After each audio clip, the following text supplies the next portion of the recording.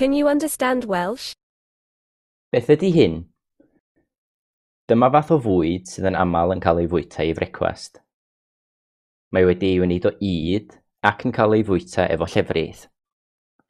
Da chi'n ei fwyta fo o fowlan ac mae yna wahanol fathau, er enghraifft granola neu grisio'n id. Pa air ydyn ni'n chwilio amdano fo?